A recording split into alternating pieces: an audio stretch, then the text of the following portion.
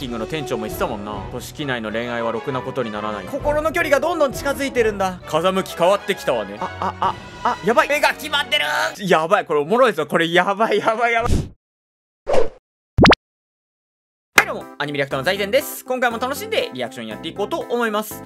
今回見ていくのは私のよりはお仕事です。第8話見ていこうと思います。はいというわけで始まりました。わたよりですね。今回も楽しんでやっていこうと思うわけなんですけれども。さあさあさあさあさあ。まあ前回前々回前々回か。前々回水木さんと姫ちゃんの話が終わりつつ新章突入し始めましたよっていうところでまあすみかさんについていろいろと話が掘り下げられていくんじゃないかっていうことが前回明らかになりまあ完全にすみかのルートですよね。もう本当にすみかちゃんとこのかのこちゃんギャルパイセンとおっとりしたかのこちゃんどういう風に結びついていくのか。さあさあさあまあかのこちゃんに対するねもう姫ちゃんの思いだとかまあ本当にかのこちゃんと姫ちゃんの関係性もいろいろと気になるよね。本当になんで外面を知っているのかっていうところだったりだとか。まああとはやっぱりねかのこちゃんのこのすみか先輩へのこの矢印がどういう風に向いていくのかとかいろいろ注目したいポイントはいっぱいありますので今回も楽しんでやっていきましょう。それでは見ていきましょう。よーい。スタート。そうだ。投票だね。そうだ。人気投票があったね。それをやらなきゃいけないわけで。まあ今のとこかなり優位。姫ちゃん優位。かのこちゃんと姫ちゃんの票を持ちつつ、まあ、全体的にでもやっぱりこのサロンで人気って個人的に店長だと思うんだけどどうなんでしょうね。ただすみかさんも水木さんも人気そうだしすごい怪しいところではある。姫ちゃんの牙城を崩せるのだろうか。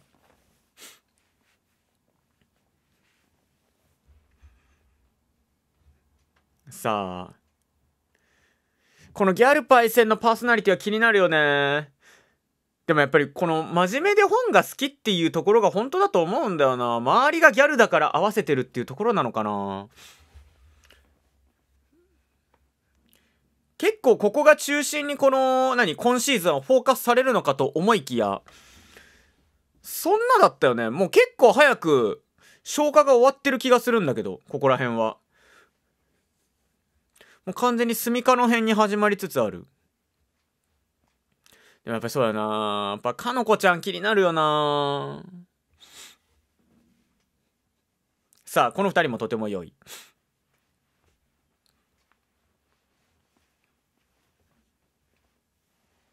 さあいい笑顔だ姫ちゃん。素敵な笑顔だと思いますよ私は。さて。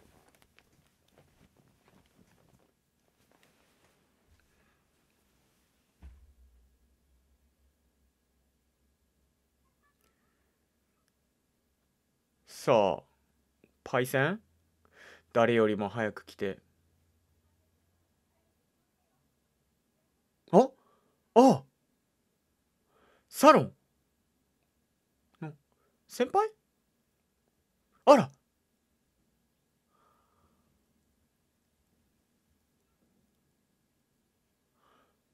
シュベスターならそこまで行っていいんですか？そういうあれになっちゃってる？うん。どうだろうな。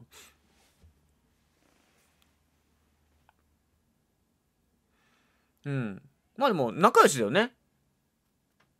あら。ああ覚えるようになってきたね姫ちゃん。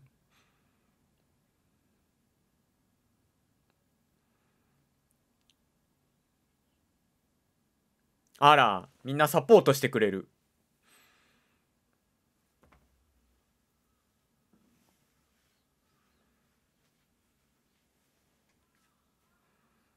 あら。先輩働いてくださいませ。そういう風な声も上がるんじゃなかろうか。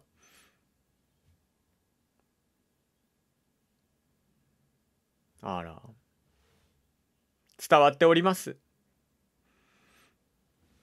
そうね。かなり仲良しになったね。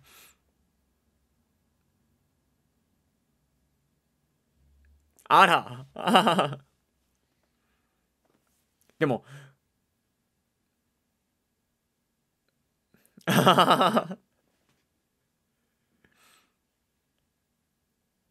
なるほど。私持ってないですかと言わんばかり。いや、違った。でもいいね。でも、こういう姉妹はいいね。見てて。あら嫉妬の炎メラメラメラあら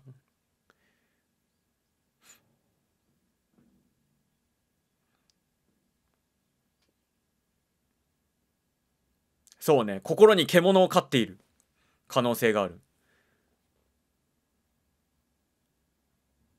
ああそうか。それはあんまり良くないよと。あくまで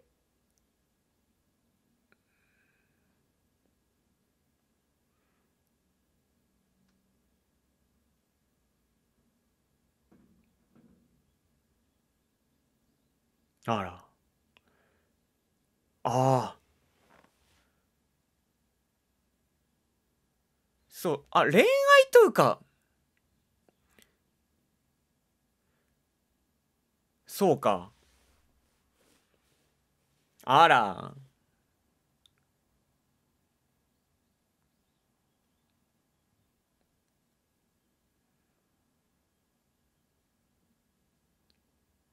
あら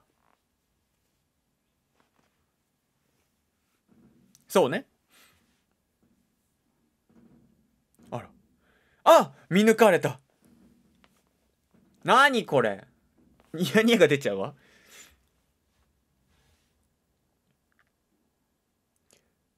あらかわいいな。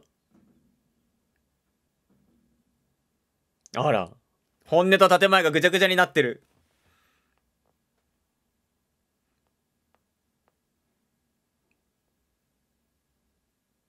あら。そういうつもりではないけれども。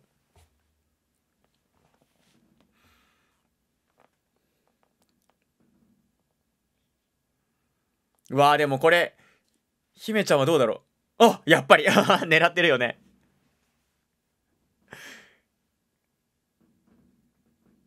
あら。やばいやばいもう落ちてる。やばい。お仕事じゃなくなってしまいますこれ以上のゆりは。すすみかさんこっちをチェックする必要があるかもしれない。こっちをチェックワンツーする必要がある。あらもう完全に落ちてる。悪い顔してるなこの子。やばい。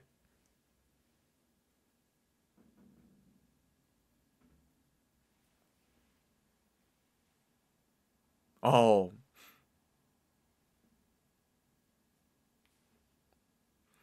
まあうまいことコントロールしてるな。そうかでも友達恋愛。恋愛っぽい感情は抱いてる何？恋愛感みたいなものは抱いてるっぽいけど多分自覚がないっぽいよな。かのこちゃんは。でもどうなんだろう。友達でありたいと思っているっていうのは多分事実なんだよな。その先に行きたいとも思ってなさそうっていうのがなんとも。あら。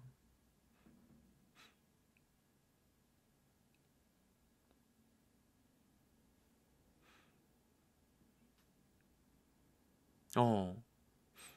あら。あくまで役回りとしか。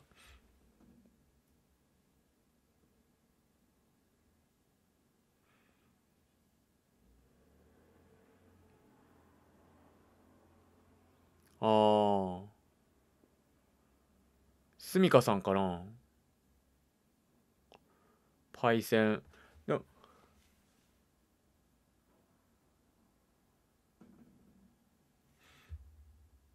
ねえ。けどそこが愛から来てるものじゃないっていうのがなんとなく見えてるわけだよね。さて。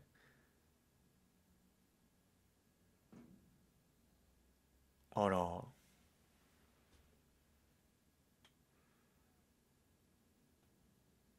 ねアクション起こしてる。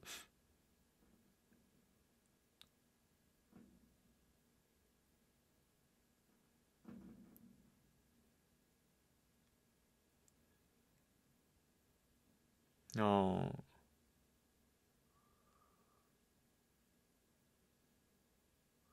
ああ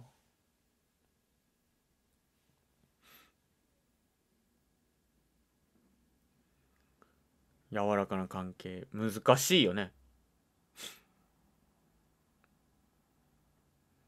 まあそうね。はっきりと。そうだもんね。家族愛に近いものを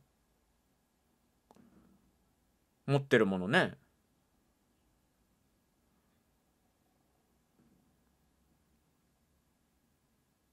ああ。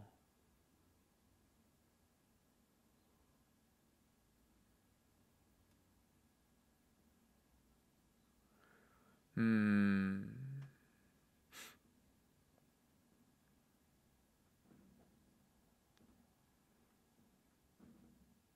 ああ。私だけでいてほしい。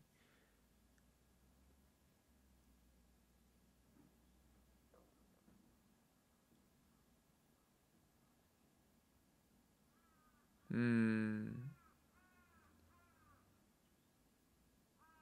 わあ。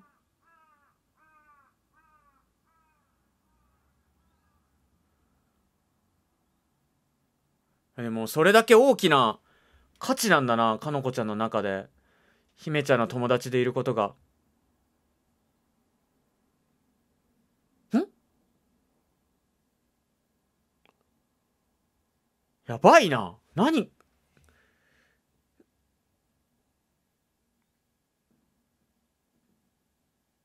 これなんかさいろいろと歪んだ先が姫ちゃんなのが結構厄介そうだなこれ。うん。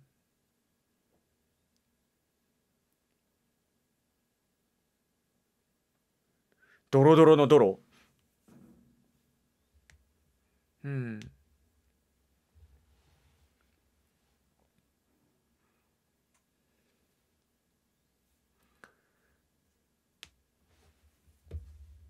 ああ恋愛で。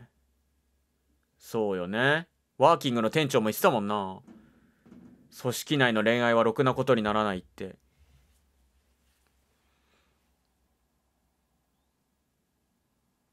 ワーキングの店長だったかな。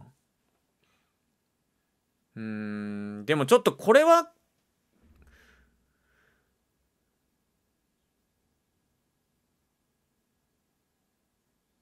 ああそうか。この場所に対する愛っていうのもあるんだな。そうだよね。でもちょっと危ういよな。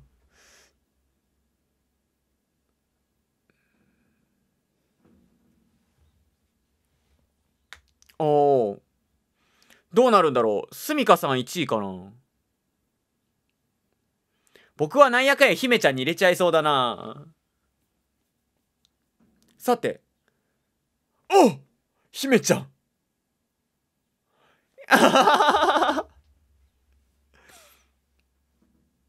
はい。まあそうか。妹という立場が。水木さんに集まっちゃってるんだ。票が。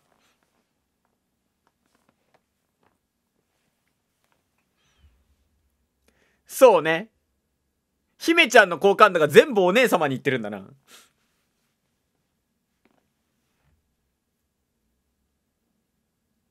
ああああやばい。刺さる。ああぴったりすぎる。あ あ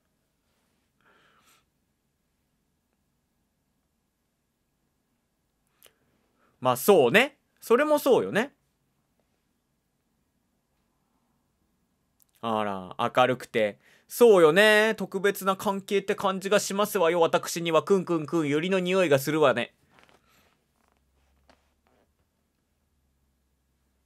あら。あら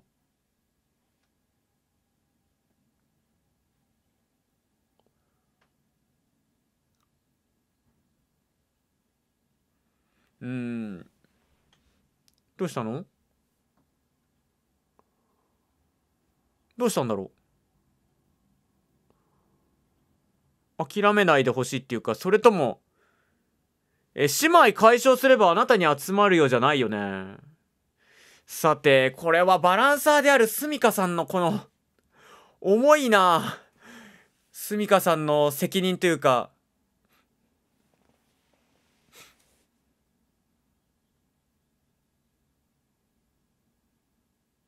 あ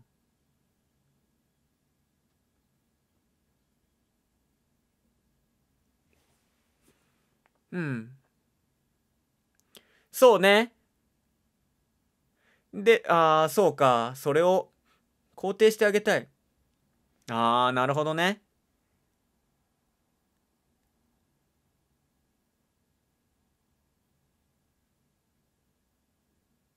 あら。やばい。どんどんどんどん。やばいなちょっと。ちょっとスミカパイセンちょっと。役割が重くなりつつあるな。さあどうするこれ。あ？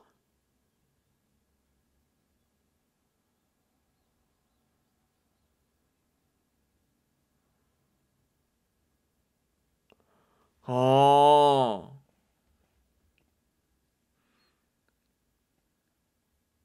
ちょっと読めないなかのこちゃん。なんか、こうなんだろうなって思う方向とちょっとずつずれて動くんだよね。あら。でもこのね、おしとやかさはね、ブルーメ様っぽいよな。あー、こう、やっぱり、おしとやかに謙虚に謙虚に厳かにいればいるほど生えちゃうわけね。さあ。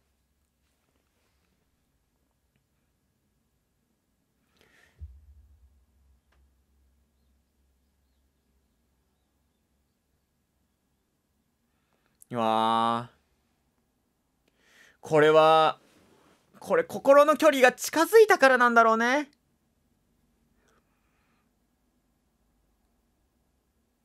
うわあそう。心の距離がどんどん近づいてるんだ。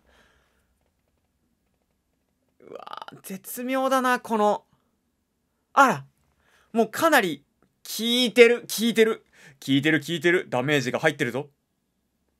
あら。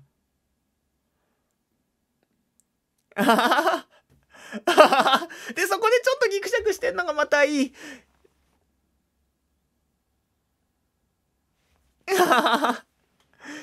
いやー、いいなこの、なんかちょっと無頓着な姫ちゃんがまたいいなこの、そう言いつつも私に入れてほしいっていう風に思ってる絶妙な感情をキャッチしきれてないのが超可愛い。はい。遠くに行っちゃうって思ってるのかな？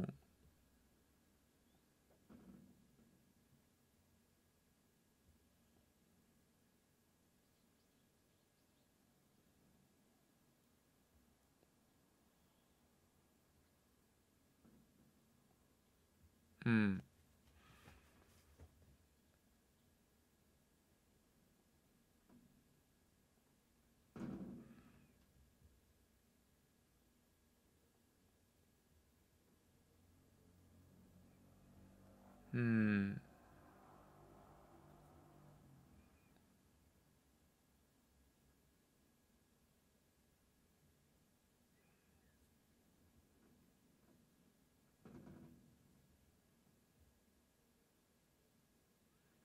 うん。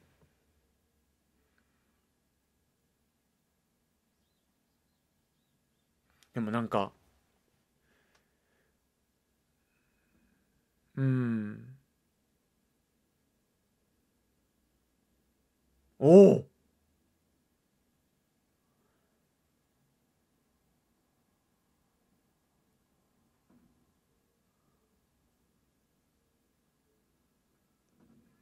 あさあ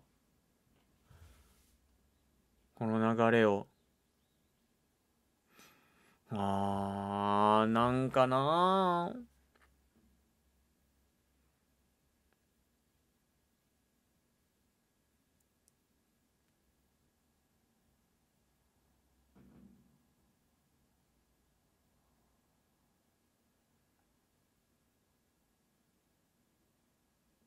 さあ。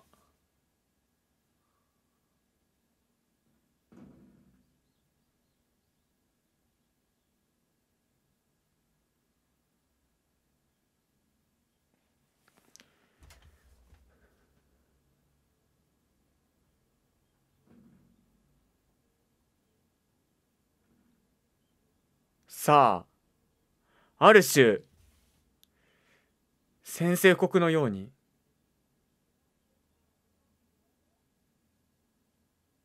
これをどう捉えるかだね。うわ。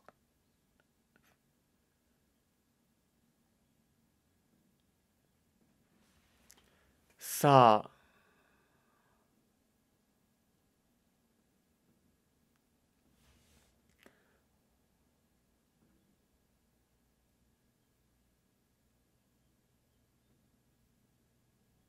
さあさあさあ流れが。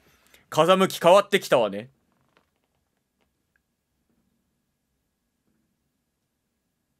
ああ。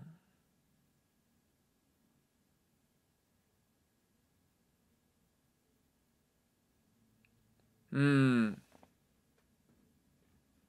お願いはこれ聞いた後なの？この後お願いがわかるのかな？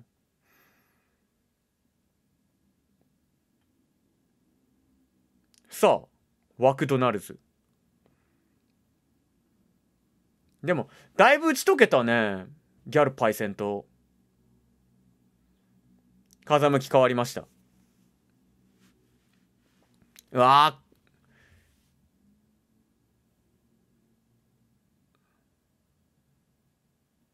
お願い。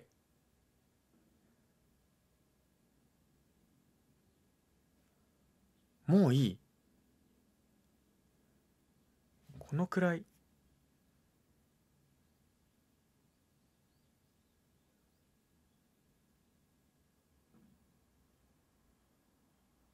あやばい自覚した？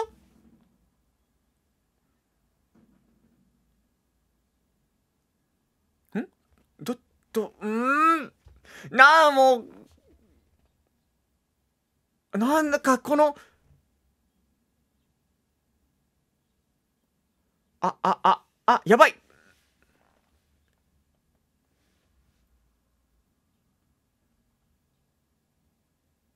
目が決まってる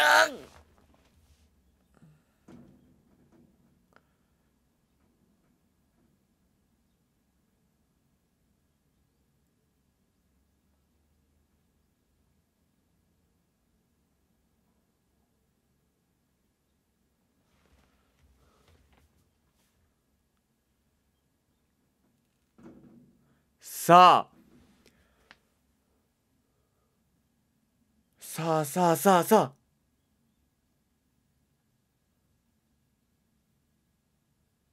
うわっとあやばいこれおもろいぞ。これやばいやばいやばい。超おもろいぞこれ。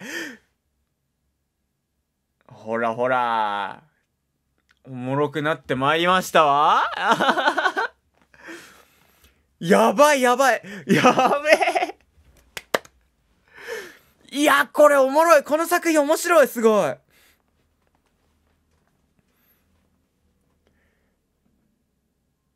いやこれもうバチバチだな。バチバチですよ。いやさ、もう読めなかったわけじゃん。もうさ、絶妙すぎるこの言語にならない、言語にならない感情をうまくすくってこの絵に落とし込んでる感じこれがね、絶妙だなって思ったけど、さらにここで加速した。いや、ちょっと待って、そこでアクセル踏むんですか？今崖っぷちですよ。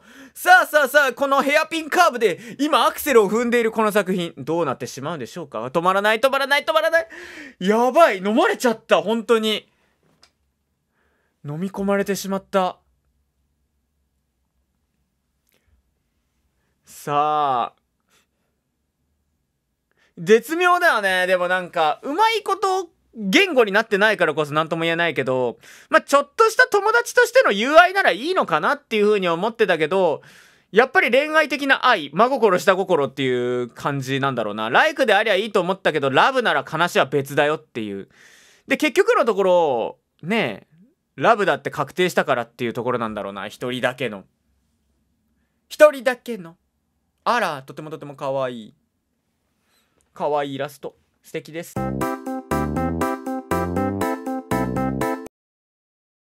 はいというわけで見終わったわけなんですけどやっぱりこの作品マジでおもろい。超面白いんですけど。やばいなやばいな。いいなギャル先輩が動き出してきてから超いいなやっぱり。なんか、やっぱり全てのバランサーであるキャラが動き出す瞬間っていうのはとてもとてもいいですよね。さあ、やめてもらうよ、恋愛としてのそういう恋というのは。うまいことバランスを取りつつあって、様子を見てきたけれども、まあ、やっぱりかのこちゃんはもうレッドゾーン入っちゃってるっていうとこだよね。あー、絶妙だよね。すっごい難しい。やっぱりかのこちゃんと姫ちゃんの関係性が紐解かれてないまま、こう進んでいるから、さあ、これは結局どっちなんだって思いながら話が進んでいたわけなんだけど、今回でほぼ確定したわけだよね。嫉妬している。だから、友達としての好き？だから、友達としてずっといたいのに、なんか水木さんばっかり見ててなんか嫌だなっていう気持ちになってたりとかもしたと思うんだけど、ねえ、まあ、ねえ、先輩的にもそれならまあいいかなっていう風には思ってるわけだよね。友情として言ってるならいいけど、恋愛として独占欲を発揮したら壊れた後がやばいよねとか、平気で壊したりするよねっていうところ。完全にやっぱり場所とこの人間関係の比重っていうのは狂ってしまうから、やっぱりそれを壊させないっていうところで、まあ本当に先輩動き出しているわけなんだけど、いや、かのこちゃんがそれで止まるかっていうところだよね。あー、まあでもやっぱり恋愛的な好きだったっていうことでほぼ確定でいいのか、どうなんだろうね。うん。本人的には友達として好きだよっていうのを隠し通していたつもりだけど、やっぱり恋愛的に好きっていうのもしっかり自覚してたのかなそういうことだったのかなうん。いや、いいですね、いいですね、かのこちゃん、かのこちゃん。超いいじゃないですかっていう感じで、めちゃめちゃいいなっていうところではあるんですけど、あー、いや、いいですね。これマジやばいなっていう感じ。めっちゃ面白い。本当に面白いです、これ。いやー、素晴らしいなというふうに思います、見てて。なんかもう、いいわ。超いいわ、マジで。やばいやばい。ちょっとね、脳が忙しくて、うまいこと言語にできてないし、処理しきれてない部分っていうのはあるんだけど、めちゃくちゃいいですね。これバチバチですよ、バチバチ。さあさあさあ。もうでも完全にやばいもんな。なんか私と姫ちゃんの場所っていう風にしようとしているっていうところが、すごい気に食わないわけだよね、すみか先輩はね。みんなで仲むずまし、仲睦まじくこう過ごす、本当に一つの憩いの場所なのに、やっぱり現実的な恋愛感情っていうものを持ち込んでしまうと、やっぱりそこのなんかね、空想と現実っていうのの、この境目っていうのが完全に崩れてしまうから良くないよねっていうところがある。うん。だから、そういうので恋愛を持ち込むっていうのは良くないし、多分、何前日というか、まあ、前日たんじゃないけれども、まあ、以前そういうことがあって壊れてしまったっていうのもあるんだろうね。同時に辞めてしまったりとか、そういうことがあったりなかったりしたんだろうなっていうふうには思う。あでもいいよね、うまいよね。この作品、感情の出し方がとてもうまい。うん。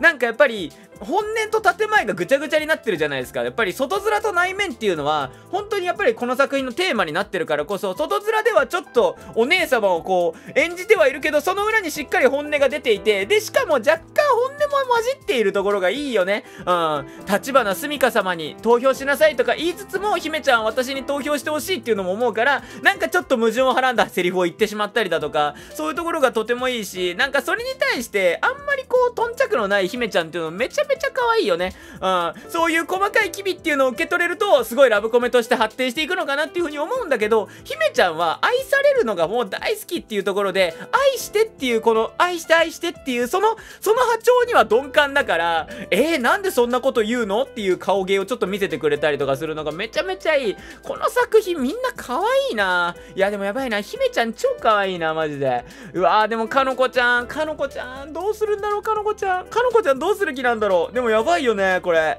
いや、おもろい、面白い、面白すぎる。正直、この作品。うん。